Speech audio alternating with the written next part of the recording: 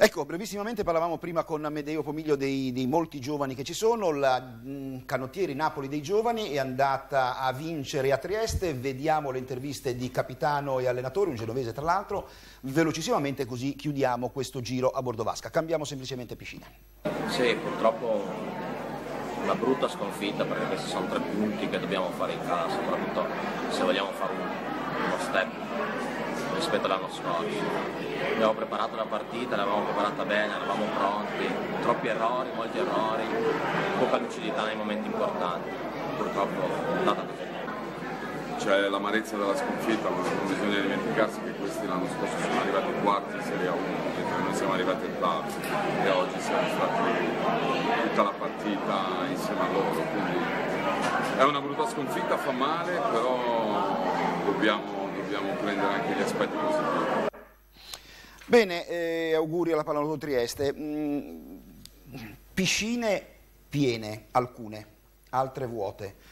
Eh, personalmente, non so se tu la pensi in questa maniera, vedo come piscine piene quella di Trieste, quella Manara di Busto Arsizio, eh, la Monumentale di Torino. Personalmente vedo che eh, c'è gente dove la società propone un evento, dove dietro ci sono società che lavorano sotto questo aspetto. Qui in Liguria, insomma, la Proreco no. per avere pubblico deve andare probabilmente a Genova nella Coppa dei Campioni, ad Albaro o in casa, insomma, latita un po'. Eppure offre lo spettacolo più bello del mondo. No, sono eh, paradossalmente quelle più giovani, hanno energie fresche e, e, e si eh, vede eh. chiaramente che, che c'è un lavoro dietro perché loro devono avere un lavoro dietro per portare gente alle, alle piscine, sono nuove, hanno energie, si strutturano hanno, vivono anche in, in, città dove si lavora professionalmente, il problema è, è che ce ne sono altre che, che non lavorano stesso nello stesso senso. l'unione e la continuità sono due problemi che, perché i picchi magari di ascolto, le piscine piene, siamo stati capaci, la prova noi abbiamo che le piscine siamo in grado di riempirle. E questa dice, magari non, se non si riuscisse a riempirle mai, quando si vuole eh, alla fine eh, si fa se si fosse eh, strutturati con un settore di comunicazione che lavori continuamente, in maniera continua, quindi si tratta di fare un investimento ma di sicuro reintegro da parte di tutti, quindi avere anche un format comune che eh, possa dare un indirizzo per migliorare l'immagine del nostro sport eh, sarebbe una cosa eh, molto buona, anche perché mh, il fatto della TV non è un, uno, che, che, non ci sia più la TV, sì. non, non, è uno schiaffo della RAI, è una fotografia che la RAI ha fatto, che noi abbiamo avuto eh, abbastanza secca di qual è la, la rispondenza. La, eh, sì, di qual è l'audience del, del, del nostro sport. E senza TV, secondo me, cioè, al giorno d'oggi tutti gli sport vanno verso la TV, la TV è immagine, è, lo streaming secondo me è un supporto utilissimo che può essere sicuramente di aiuto, ma la TV è, è una cosa fondamentale, ti dà immagine. Mm, forse mi sono dimenticato del quinto, è un'altra piscina completamente piena. Delle, ecco, eh, da parte vostra è merito del lavoro societario, di marketing, come diceva Medeo, o è semplicemente l'entusiasmo di, di questo straordinario risultato raggiunto? Beh, eh, ha ragione assolutamente Amedeo, le società, quelle, quando, quando, sei neopromosso, quando arrivi in una categoria, comunque i primi anni l'entusiasmo, eh, cioè sarebbe, sarebbe, strano se non ci fosse entusiasmo, poi dopo quando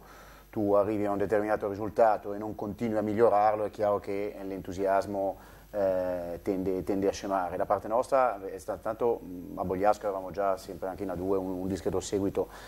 la scelta di andare a, a giocare al bar ovviamente legata a una, una scelta societaria, la, la, sei, siamo la, la, squadra di Genova e quindi era giusto che giocassimo,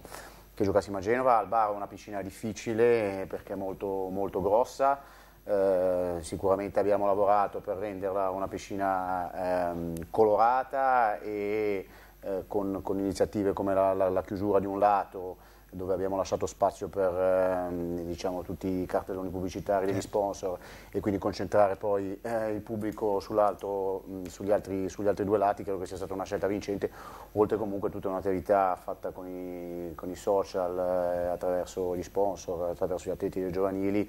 eh, che viene fatta costantemente e che sicuramente dovrebbe essere migliorata e cercheremo di migliorarla. È chiaro che poi anche lì i risultati della squadra eh, trascinano comunque, comunque il pubblico, certo, quindi certo. un quinto che, che, riesce a giocarsi la salvezza con le altre sicuramente crea entusiasmo e, e, gente che ci viene a sostenere, ripeto anche non solo addetti ai lavori o, o, o genitori di atleti che giocano.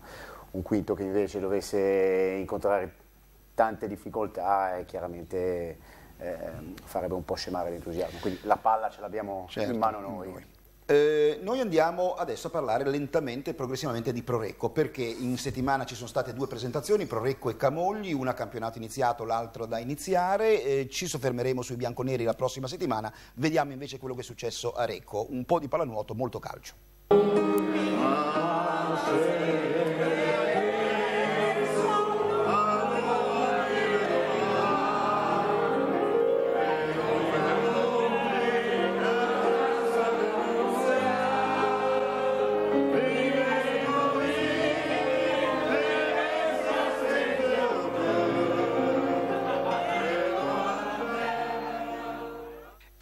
D'eccezione ad interpretare la canzone simbolo di Genova, l'ex finanziere Giampiero Fiorani, ormai ufficializzato come braccio destro di Volpi in Nigeria e a Recco, Eraldo Pizzo, vicepresidente, e Gabriele Volpi, che confessa di amare più di tutte la storia musicata del vecchio migrante genovese che realizza fortuna all'estero ma che poi, da anziano, ritorna a Genova. Situazione nella quale Volpi confessa di identificare la sua storia è l'epilogo della presentazione di Prorecco edizione 2016-17 nel locale Event Beach accanto a Punta Sant'Anna, destinato a creare uno dei cardini del complesso polivalente della zona, versione Prorecco, e affidato in gestione al potente ex finanziere. Per completare la quadratura del cerchio però manca ancora la piscina. Il sogno mio, e penso che sono riuscito a realizzarlo, è di avere una, il presidente, avere due vicepresidenti di Recco un allenatore che volevo da quattro anni, purtroppo ha tentennato un po', mi è venuto, e creare la piscina dove io eh, 70 anni fa iniziai a nuotare in mare e, e, non è giusto che Recco con tutto quello che ha vinto non abbia la piscina per giocare qui, ma non solo per la prima squadra, ma soprattutto per creare i giovani che non avendo la piscina non abbiamo. Livello societario Recco è sempre Recco, da quando, quando ho giocato io, ecco, dopo questa assenza di otto anni ho trovato sempre il solito Recco, uh, però ecco, io spero che fra qualche anno, magari anche l'anno prossimo, ecco, di, di, portare la Pro Recco, eh, di allenarsi a, a Recco, di, di tornare a Punta Sant'Anna di tornare a lavorare nella casa nostra, di portare anche i ragazzi giovani, tutte le squadre giovanili ad allenarsi a Recco.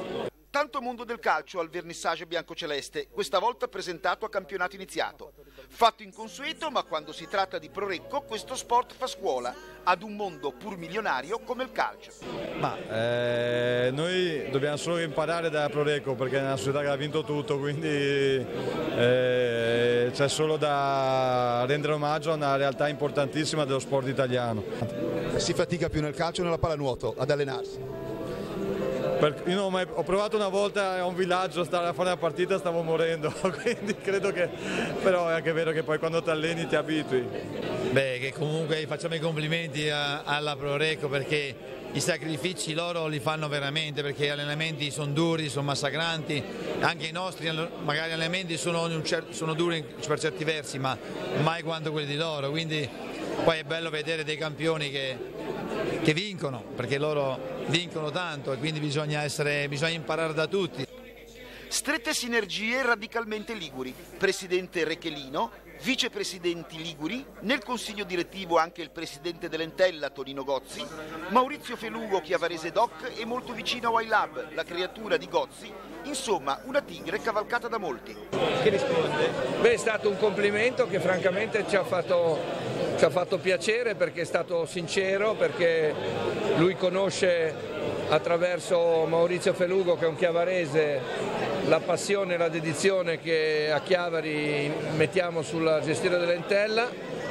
E effettivamente io dico sempre che la soddisfazione dell'anno scorso è che eravamo i quindicesimi per Monte Ingaggi e siamo finiti noni e dobbiamo soltanto ammirare quello che stanno facendo i ragazzi, sono molto felice per Maurizio Felugo che dopo essere un grande campione sta portando avanti come presidente tutto questo progetto, soprattutto si sta anche rivolgendo con l'Academy ai giovani, io in questo sono molto chiaramente vicina. E chissà che non ci sarà una sorpresa al torneo Ravano come già detto, per cui per me la pallanuoto in questo momento è uno dei top sport. Eh, Amedeo, parliamo un po' della, se vuoi, della tua esperienza a Recco, nel senso che mh, molti hanno uh, interpretato quest'anno quasi come fallimentare semplicemente perché non siete riusciti a vincere la Coppa dei Campioni a Budapest con mille scusanti prima di tutte i tempesti che non c'era e che fa il 56% della squadra. Viceversa vedo che la Gazzetta dello Sport in questi giorni premia la Prorecco come una delle rivelazioni dell'anno 2014-2015. Ehm, Qual è la realtà? Secondo me, se voi il mio punto di vista, eh, arrivaste, intanto avete vinto tre titoli importanti come il campionato, la Supercoppa e la Coppa Italia, da non dimenticare. A Budapest con un ragazzo in porta molto giovane, e beh, è già stato un miracolo che la squadra per quattro volte sia riuscita a reagire, mh, picchiata a freddo da rete, da quelle due reti di Jokovic all'inizio e arrivare fino ai rigori. Tu come la vedi? Perché Ma... mh, la festa che c'è stata alla fine del campionato è stata una festa che obiettivamente sembrava un funerale di terza classe per una squadra che invece ha dettato legge tutto l'anno. Ma io eh, devo eh, comunque riassumere una, un, anno, un, anno, intero dove mh, sono rimasto sicuramente eh, impressionato positivamente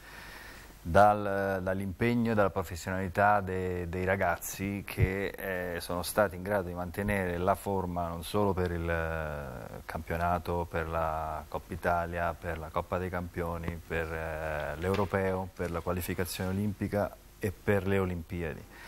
Quindi eh, io ne parlai a loro a settembre, eh, gli dissi chiaramente se volete eh, mantenere migliorare e arrivare eh, alla fine in forma dovete cominciare da adesso. adesso, si deve cominciare da adesso e i ragazzi mi hanno seguito in maniera eh, esemplare, sono dei veri campioni, tutti quanti, senza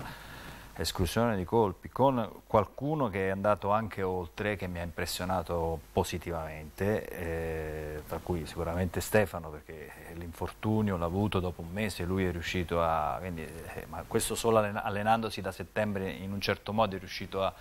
a resistere per un mese senza, senza, muoversi. Devo dire chi ha allenato anche... Eh, la mente, la sopportazione l'ha trasformata in rabbia perché per esempio Aicardi è stato uno che tutto l'anno ha avuto guai fino all'ultimo ed è stato in grado nell'ultima, nell fase, nelle Olimpiadi, di trasformare tutto questo in, in, rabbia, quindi in carattere. Lui è cresciuto mentalmente eh, in maniera esponenziale, esponenziale perché mi, mi ha sorpreso anche la capacità che ha avuto di trasformare il suo setto nasale è fratturato, anche attraverso la maschera, quindi anche con intelligenza, eh, in eh, tutti i fattori positivi che hanno dato alla squadra quella, quella forza in più per poter eh, arrivare, quindi tutto questo è nato però da un atteggiamento, voglio dire, che loro hanno preso da settembre. I serbi, i croati, eh, Ivovic, tutti quanti. Quindi su questo aspetto il livello di gioco e, e lo stato di forma piano piano, nonostante l'europeo, tutto qua, e, quindi anche la stanchezza, le partite sono state 80 partite, eh, da giocare quindi mediamente una volta ogni tre giorni, quindi il calendario è stato insomma, eh, abbastanza, anzi anche troppo intenso. Secondo me, ma non devo dirle, dirlo io, eh, nella, avevamo un avversario comunque abbastanza, anzi ottimo in campionato, che l'ha dimostrato in Coppa Italia perché eh, con il 5 a 4 noi abbiamo vinto la Coppa Italia, quindi era di primissimo livello che era il Brescia, eh, nell'ultima fase del campionato c'è stata quella che mi aspettavo da, dai ragazzi, comunque un, una qualità di gioco che è cresciuta assieme assieme a, allo stato di forma, quindi secondo me la finale scudetto è stata fatta ad un livello eh, molto molto alto. È logico che se poi mi chiedi, eh, ma secondo te Tempesti eh, ce lo vorresti o no in squadra? Io ti rispondo di sì, ma Tempesti chi è? Tempesti è il miglior portiere del mondo, perché è ancora oggi, secondo me, l'unico in grado di poterti far vincere la partita.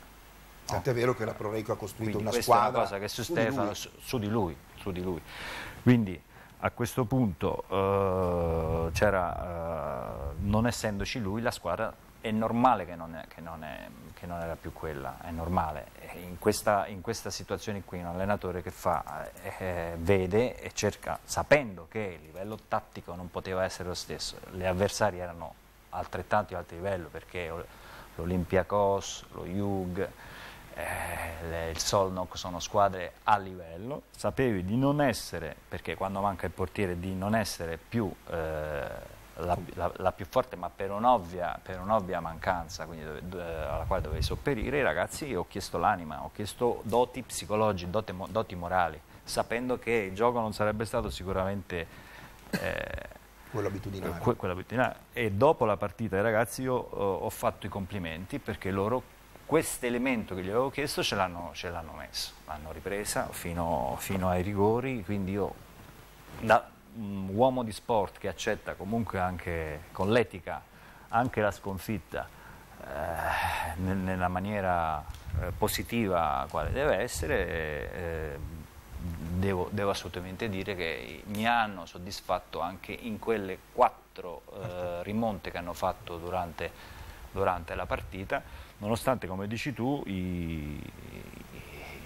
in porta non ci fosse Tempesti, ma c'è stato un portiere che ha dato il massimo di quello che poteva. Non è che... E dall'altra parte per conto avevamo Pavic, Biaz, quindi insomma sì, una certa è stata, è stata la, la, la, la Final Six dove i portieri hanno parato, quindi non mi voglio assolutamente giustificare, ma è l'evidenza che, che comunque sto, è, un, è, un, dato di fatto. Poi la potevi pure vincere la, la Coppa, perché alla fine poteva pure capitare, stato, passavi con i rigori, potevi anche, anche, andare avanti. Riprenderemo fra un attimo sicuramente questo eh, argomento, ci interrompiamo un attimo per le inserzioni commerciali e eh, fra poco nuovamente con noi, assieme.